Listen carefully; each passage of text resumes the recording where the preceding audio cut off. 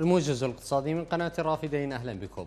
كشفت وزارة العمل والشؤون الاجتماعية عن تنامي ظاهرة تشغيل العملة الأجنبية غير الشرعية في العراق. وقال مدير عام العمل والتدريب المهني في الوزارة رائد جبار باهض إن العمالة الأجنبية في العراق تتضمن شقين. أحدهما يتعلق بالعمالة الشرعية والثاني هو العمالة غير الشرعية المخالفة للقانون المتجاوزة على الفيزا والتي تدخل إما نتيجة الإجراءات الخاطئة بقرارات سابقة أو بالحصول على فيزا اضطرارية أو سياحية. وهي ما تزايدت في العراق حتى باتت مكافحتها ضرورية.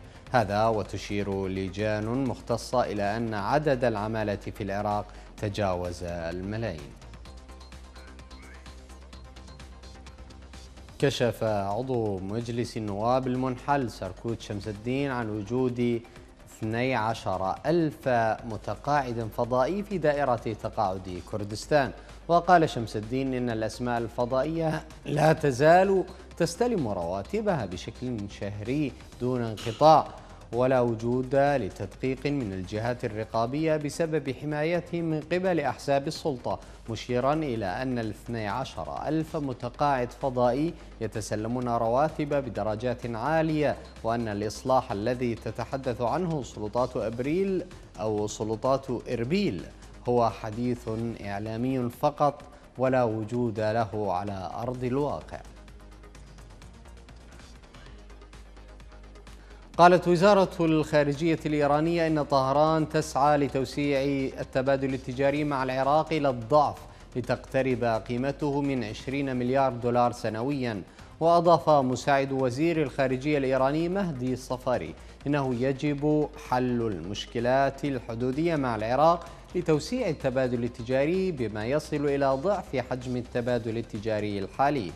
جدير بالذكر أن إيران تغرق الأسواق العراقية بمنتجاتها دون النظر إلى عدم حاجة السوق العراقية إليها ما ينعكس سلبا على المنتجات المحلية في البلاد.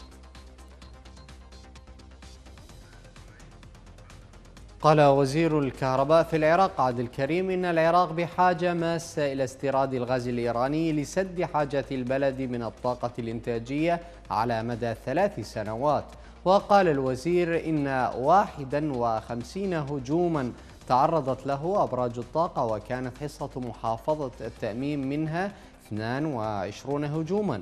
لافتا إلى أنه من أصل 190 برجا سقطت كانت حصة التأمين منها 51 برجا. وشدد وزير الكهرباء على أن العراق بحاجة إلى 15 ألف ميجاوات خلال السنوات أو خلال السنوات المقبلة.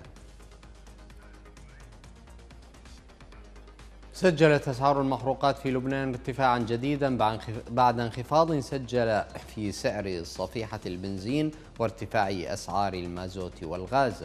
وأصدرت وزارة الطاقة اللبنانية جدول الأسعار الجديد والذي يظهر ارتفاع صفيحة البنزين 95 أوكتان 400 ليرة لبنانية وال 98 أوكتان ب 600 ليرة والديزل ب 4200 ليرة والغاز ب 3300 ليرة لتصبح الأسعار على هذا الشكل.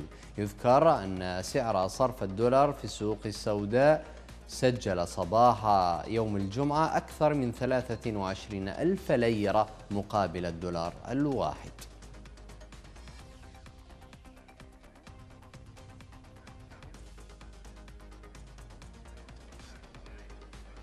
ختام الموجز إلى اللقاء.